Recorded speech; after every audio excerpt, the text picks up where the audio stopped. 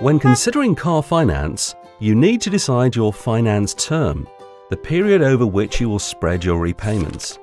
For most people, this tends to be two to four years, but in deciding what's right for you, you first need to consider how long you want to keep the car before selling it or trading it in for a new one. You might prefer to change your vehicle regularly, especially if you like to keep up with improvements in performance and rapidly changing technology.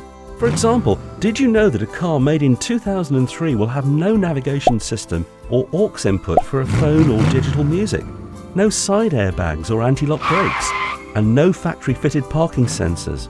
And some models which averaged 40 miles per gallon back then now have equivalents that do 70 miles per gallon today.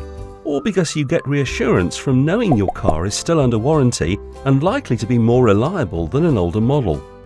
It also makes sense to balance depreciation with maintenance costs. Annual repair and servicing costs often rise significantly after about 30,000 miles, when many warranty periods end. So when maintenance costs are more than finance costs for a new car, it could be time to change.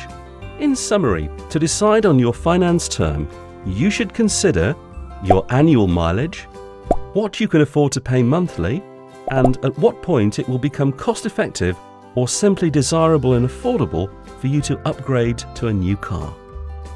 It's that simple.